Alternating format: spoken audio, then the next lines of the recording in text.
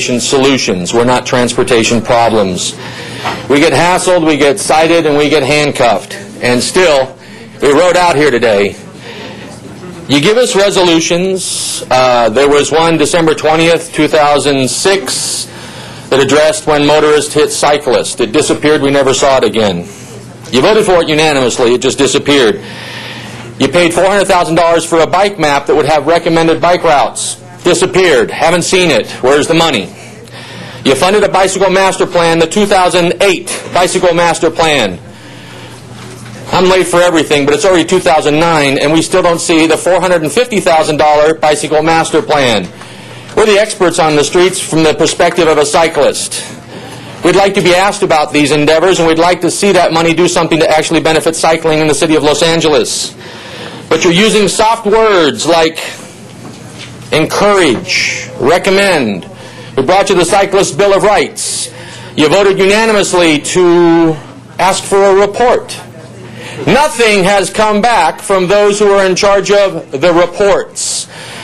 So we stand before you and we want to partner with you, but this is the, the biggest city in the most populated state in the most powerful country in the world.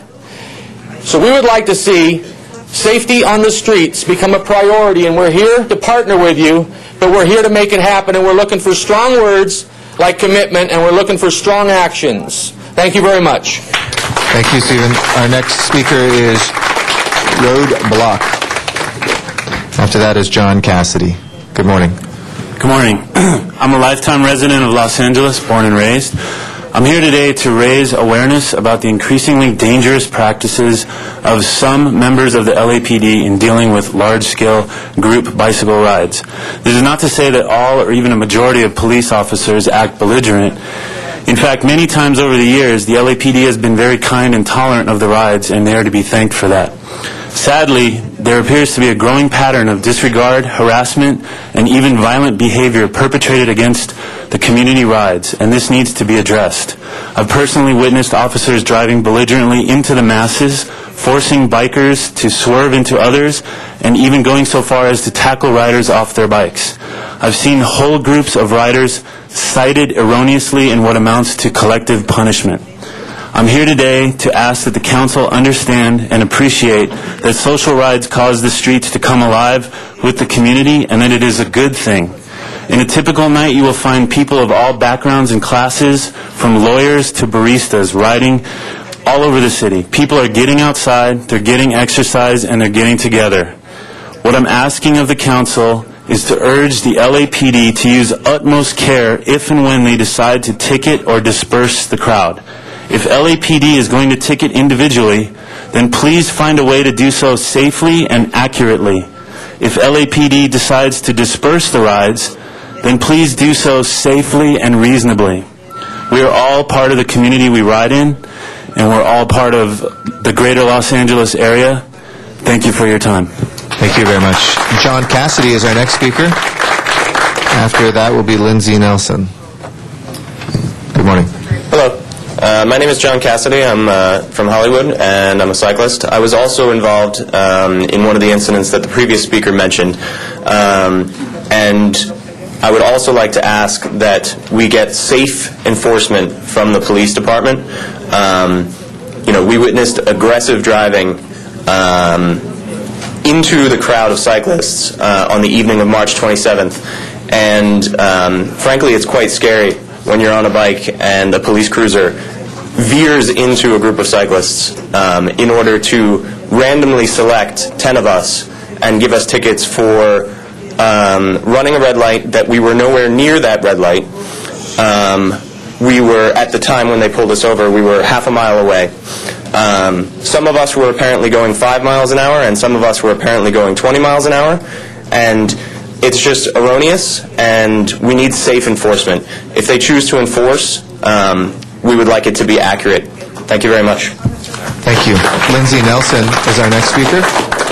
And after Lindsay will be Mark Peterson. Good morning.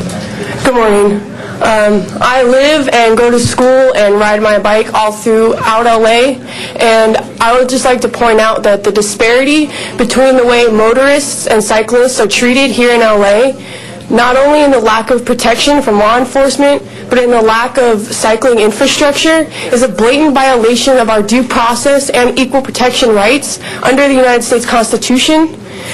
Um, City Council should support us because we are the solution to all your, to your problems. We help the environment, we reduce traffic. We have rights too, we are taxpayers too, and we are part of the solution. Thank you. Thank you very much. Mark Peterson, and then uh, after that is Thomas Presley. Good morning. Good morning. Um, I'm a I'm a commuter cyclist. Um, my bicycle is my transportation, um, and I'm just here to uh, to support all of the comments that have come so far, uh, and to say I'd. Uh, all of the accommodations uh, which are possible would be would be great to see, but I think the minimum we should expect is uh, is uh, a reasonable and knowledgeable treatment by the LAPD. Um, as an example, um, when I was uh, riding into downtown at one point, uh, an unmarked car got on its loudspeakers and told me to move over to the right. Now, I was riding just outside of the door zone, which is the area that you know cars can open their doors into, and you can hit it and be seriously injured. So it's a, there's a fundamental disconnect where I think law enforcement does not understand uh, why cyclists ride the way they do in order to keep themselves safe. And I think this is one thing that can certainly help to, to have a, an understanding so that we can all, as citizens, use our transportation network. Thank you. Thank you very much. Appreciate it. Thomas Presley. After uh, Mr. Presley will be Ted Rogers. Good morning. Hello, my name is Thomas Presley. I'm also a commuter cyclist. I live in West Hollywood. And uh, the issue that I wanted to raise was actually uh, had specifically to do with the City Council with regards to the fact that a number of your constituents, as uh, is shown by percentages in terms of bike sales, is going up. So it doesn't make any sense that the City Council isn't responding to their direct constituents' desire to have a cohesive, comprehensive bike protection program. I mean, it makes sense. Bikes weigh 25 pounds and cars weigh 6 tons. There's not any way that we could ever win against that, We- which is why we need the power of a, a higher power to protect us from that. Um, I understand that it's not under the City Council's jurisdiction to prosecute, question, or bring uh, police officers directly to court to answer for their actions, but I do believe that it is the City Council's responsibility to implement social programs that will help increase awareness of things like biking. Why has the City Council, or if they have, can they present evidence for educational programs within the police department that is helping them become more aware of cyclists. I think a lot of the problems coming between motorists is because they're not being slapped on the wrist because cops don't know that they need to be citing people for this. So why is there not educational programs being funded by the city council to address this ignorance problem? And if that happens, it's a systemic thing. If the cops know to stop people for doing bad things, people will stop doing bad things. Um, I request educational programs need to be the top priority of the city council to make awareness a top priority. Thank you. Thank you very much. Appreciate your comments this morning. Ted Rogers is our next speaker. Mr. Rogers is Anton Xentz. I'm sorry if I butchered that. Good morning. Good morning. My name is Ted Rogers. I write the blog bikinginla.com. Uh, I wanted to come here today to comment on what, what happened here this last weekend is nothing new. Same sort of thing happened to me almost 10 years ago when I was struck by a driver in a road rage incident. I called 911. The police came, and the officer actually said, I was stopped at a stop sign when I was hit. And the officer actually said to me, I don't believe you were stopped at a stop sign because every bike rider runs stop signs. I don't. I stop for stoplights, I stop for stop signs, I'm courteous, I'm respectful of other drivers, other users of the road. And yet, this driver was led away with no charges, no tickets, and basically the police told her, you did the right thing, do it again. The same thing happened in the Mandeville Canyon incident when this uh, doctor had done it before and the police let him go. So he did it again, and he was very surprised when the police were upset with him the second time when people were injured.